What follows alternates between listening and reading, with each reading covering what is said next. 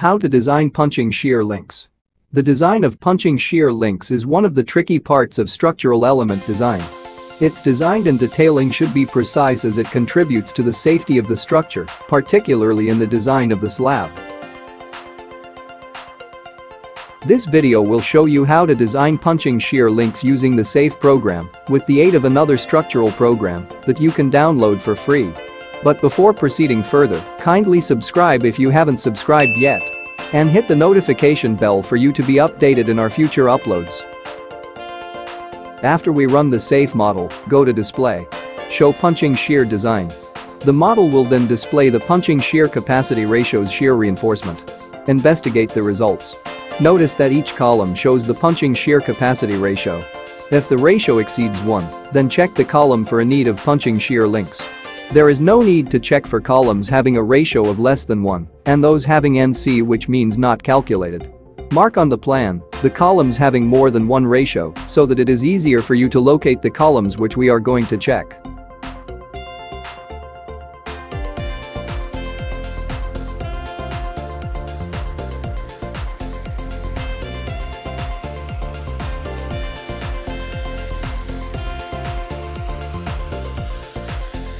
Once the marking has been done, let us now check and design each location of the column for punching shear links.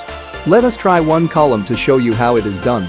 Right-click on the column, and the design details showing the design data necessary for check and design will appear.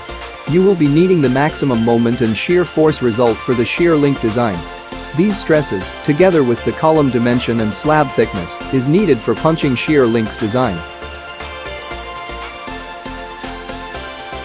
You can use any method either manually or using a design spreadsheet on how to design the punching shear links. If you have your own spreadsheet or any structural software on how the punching shear links are being designed, that would be fine.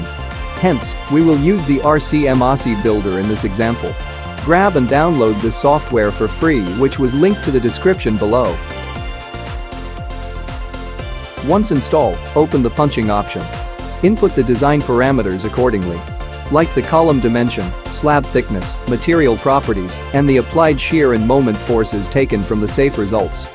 Once inputted, press the check punching button, and the distribution of the punching reinforcement window will appear. Input the primary and secondary stirrups legs and spacing. Click the check input and apply. And the data will be validated by the program, along with the results showing the summary of the required shear reinforcement to use.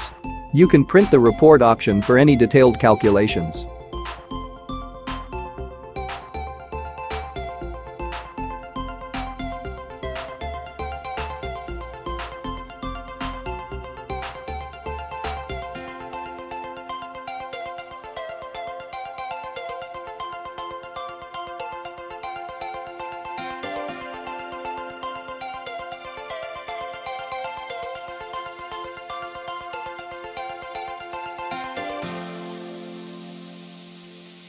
Interpretation and detailing of punching shear links.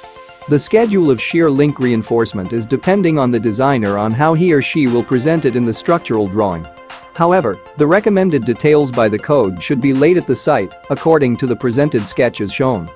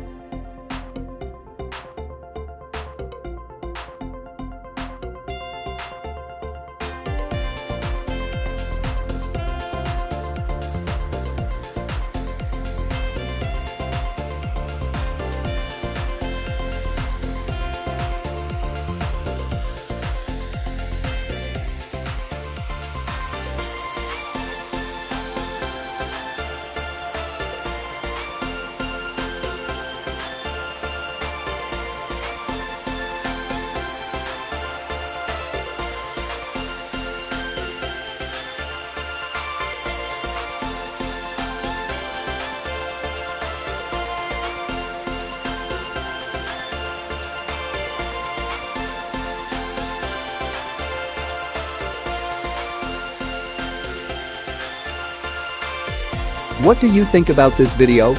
If you learned something new, please like, share, and don't forget to subscribe. Thanks for watching.